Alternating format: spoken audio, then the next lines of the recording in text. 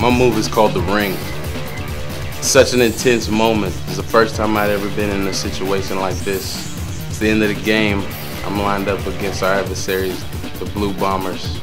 Everybody in the stadium knows how serious this moment is because even though we're up with the ball, everybody knows the CFL game isn't over until it's over.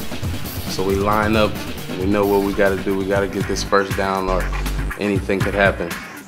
So come out of the huddle. I'm nervous, everybody's nervous. The stands are silent, everybody's just waiting to see what happens.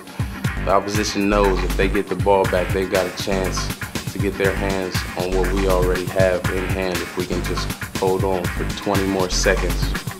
The ball snap. I see my adversary in the hole. I have no room, but somehow I make a miss. I fake left, I go back right. I get skinny on him, slide through. All of a sudden, I see the hole, I hit it. I'm through. I know what's happened. I've got the first down. Everybody in the stands goes crazy. My sideline jumps up. Everybody on my team parties. We know finally we did it. It's hard to come by. we haven't seen it in Saskatchewan since 89. We haven't seen it before then since 66 with Lancaster and Reed. But we did it. We pulled it off when everybody doubted us. We brought home the ring to Saskatchewan, and that's why my move is called the ring. Johnson's face three picks here tonight. Playing it safe, Cates dodging upfield, working in battle.